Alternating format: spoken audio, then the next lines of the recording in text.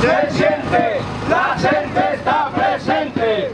Jóvenes estudiantes que hoy se rebelan contra el tirano, reciban un saludo fraterno y combativo de la Coordinadora Nacional de Trabajadores de la Educación.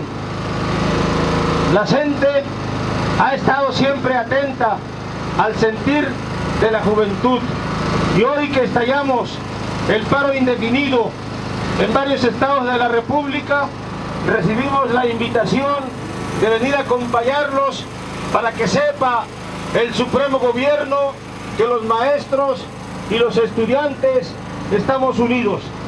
Estamos con ustedes porque sabemos que la causa que alberga a los estudiantes es justa.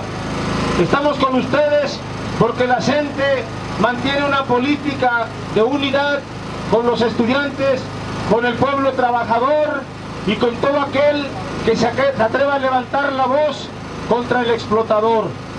Sepan que estamos atentos a cualquier acontecimiento y hoy los venimos a acompañar y les pedimos que hagamos un esfuerzo por articular esta lucha estudiantil que es justa y necesaria con la lucha de los trabajadores de la educación, que busquemos un punto de articulación entre los maestros, los estudiantes, los campesinos y el pueblo trabajador, porque hoy la devastación contra nuestro país es total.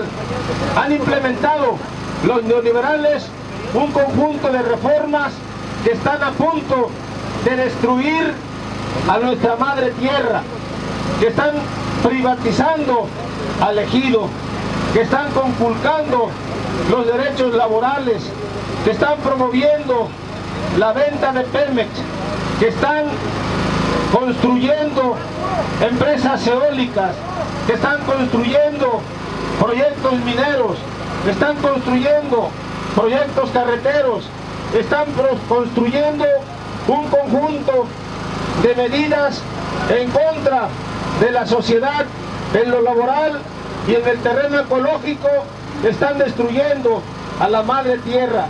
En ese contexto se inscribe la política de Aurelio Nuño contra el Instituto Politécnico Nacional para hacer que los estudiantes pierdan sus derechos y la perspectiva de mantenerse como profesionistas a la altura de lo que significa el Instituto Politécnico Nacional.